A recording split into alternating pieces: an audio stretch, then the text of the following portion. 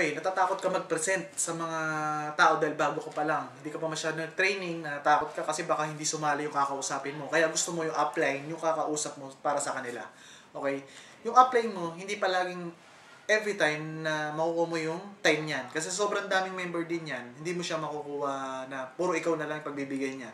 So lahat yan, hinahati-hati, lahat pinagbibigyan. So hindi most of the time, kasama mo yung upline mo. So kailangan matuto ka rin ASAP. Okay, paano ka matututo? Hindi ka matututo kung hindi mo susubukan. Hindi ka matututo kung hindi mo sisimulan. Okay?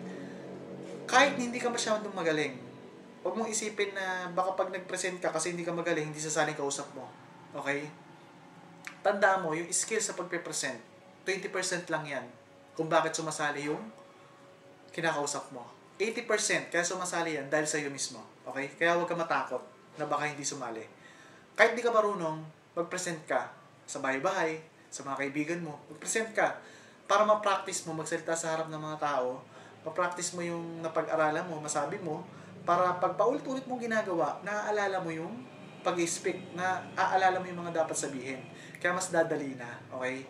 Kasi pag hindi mo sisimulan, pag palagi ka matatakot, walang mangyayari. Hindi matatapos, hindi ka matututo.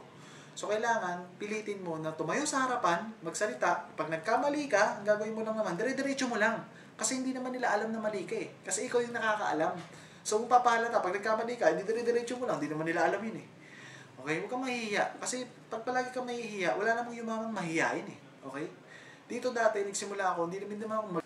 Huwag mong isipin na pag nagkamali ka ay hindi sasali yan. Okay? Huwag mong isipin na pag nagpe-present ka, kailangan palagi mong mapasali.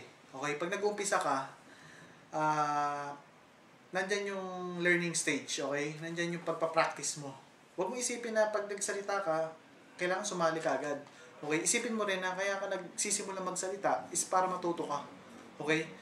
Ah, walang kaso kung sumali o hindi. At least napag-practicean mo. At least na subukan mo. Okay? Kasi kailangan dito maging magaling ka. Okay?